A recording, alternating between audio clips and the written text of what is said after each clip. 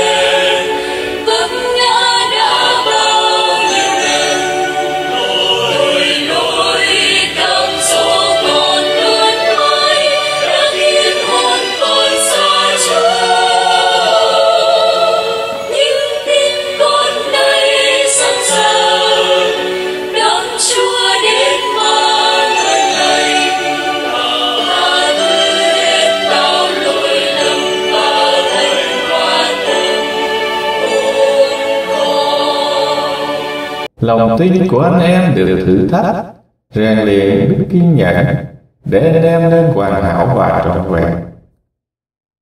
Bài khởi đầu bức thơ của Thánh Gia-cô-bê tông đồ Gia-cô-bê đầy tớ của Thiên Chúa và của Đức Giêsu Kitô, Chúa chúng ta kính chào 12 chi tộc sống phân tán khắp nơi.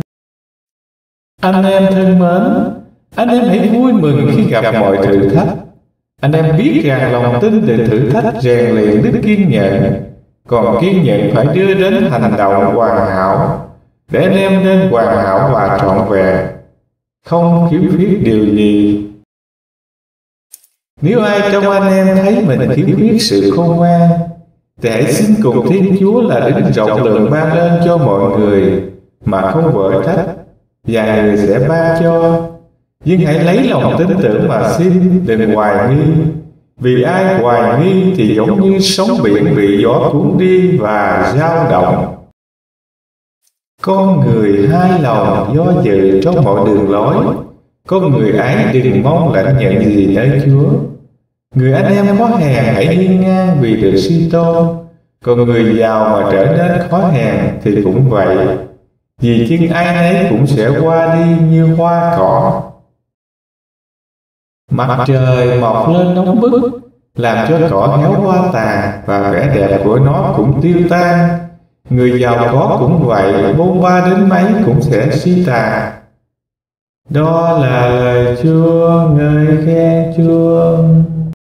Bài phúc âm Tại sao thế hệ này lại xin điềm lạ tin mừng Chúa Giêsu Kitô theo Thánh Marco?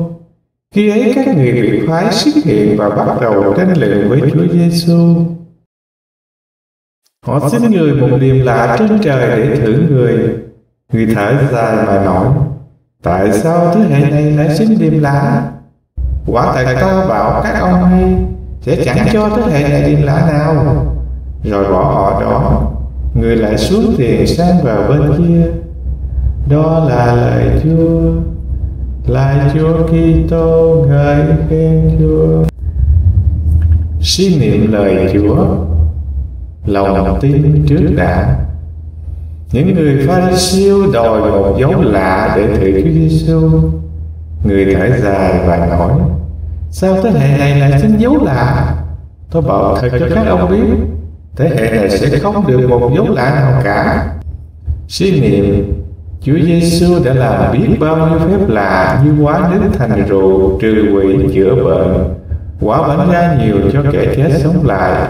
Nhưng chúng ai cũng biết, những người bị phái cũng chứng kiến. Vậy thế mà họ vẫn không tin và còn yêu cầu Chúa cho họ xem điềm lạ trên trời, mà xem để thử Chúa khi nào họ có ý muốn tin vào Ngài đâu.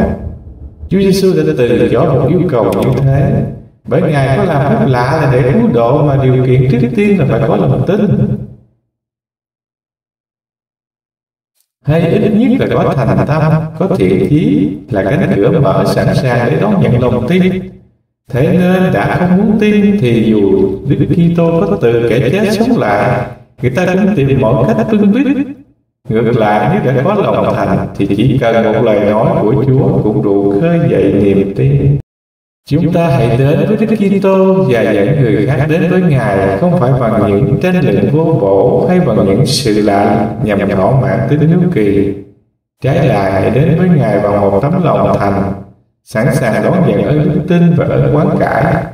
Lúc đó bạn sẽ nhận ra được những dấu lạ Chúa vẫn thực hiện trong đời của bạn. Lại Chúa trong từng này con cố gắng sắp xếp thời gian nhất định để có thể quỳ gối thờ lại Chúa, ngợi khen, tạ ơn, xin ơn và tạ lỗi với Ngài. Con xin chầu thánh thể để chiêm ngắm dấu lạ. Chúa vẫn thực hiện nơi bí tích tình yêu này. Lạy Chúa, do tình thương của Chúa chứ không phải công lao của con. Không có Thầy các con chẳng làm gì được. Chúa đã từng dạy dỗ chúng con như vậy. Chúa đã ban cho con ơn đức tin con xin cảm tạ Chúa và xin Chúa củng cố niềm tin nơi con. Để con luôn truyền tình yêu Chúa đến với anh chị em con. Mặc dù con không xứng để làm việc đó. Nhân danh cha và con và thành thần. Amen.